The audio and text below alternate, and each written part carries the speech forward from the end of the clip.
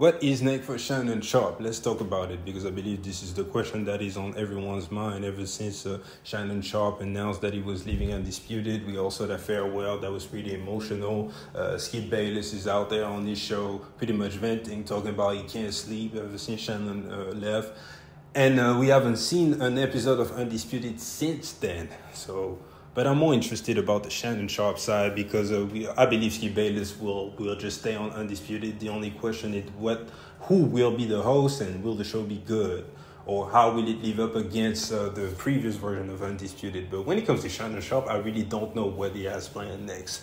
I was on Instagram yesterday and I came across this post from Shannon Sharpe and uh, let's read the caption. He says. I'm enjoying my early morning workouts, late break first, and break from wearing a suit every morning. But just for a little while. I will be back on TV in the morning soon. So this is interesting because this post gives us a few information.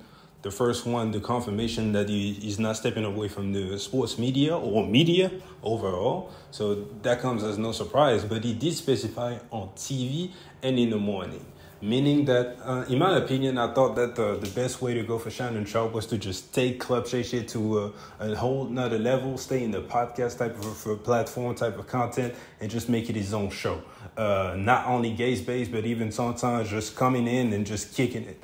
Talking about whatever, whenever, whoever, because I believe Shannon Sharpe is entertaining enough to talk about anything else and draw uh, a large crowd, just of the fact that he's funny and he's pretty likable.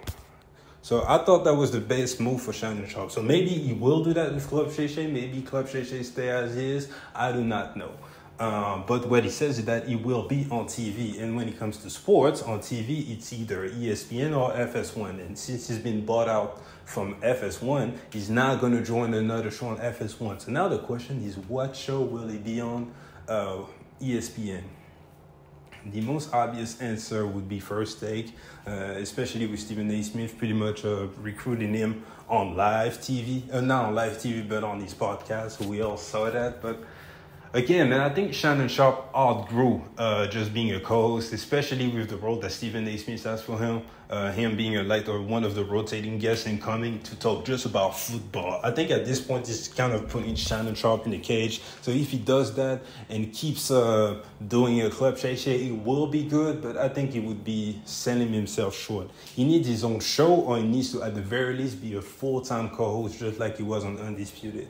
So maybe ESPN is recruiting Shannon Sharpe just like they did Pat McAfee, and I think they have other big recruits. Like they, they it's some rumors that they may get Colin Cowherd, so maybe they have the same move for Shannon Sharpe, and they plan on either you know pairing Shannon Sharpe with one of these two gentlemen or giving Shannon Sharpe his own show. Because on ESPN, uh, obviously we have First Take, but it's a few shows that, in my opinion, are lacking when it comes to quality.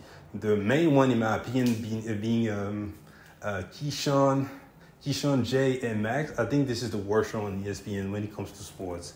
Um, not because these guys are bad, but it's just not really entertaining. And when it comes to actual facts and analysis, Max Kellerman is the only one that really brings that.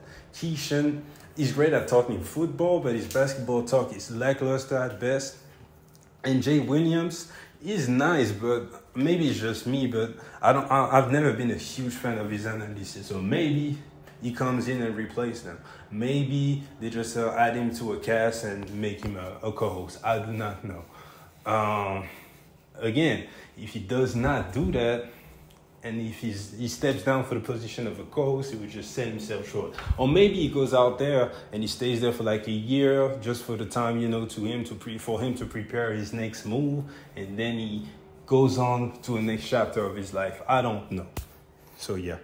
Anyways, we're gonna keep this video short, man. Uh, get in the comment section and give me your thoughts about what next for Shannon Sharpe. What would you like for Shannon Sharpe to do? And what would be the best fit for Shannon Sharpe on TV in the morning? Appreciate you guys for checking me out, and I'll see you guys later. Peace.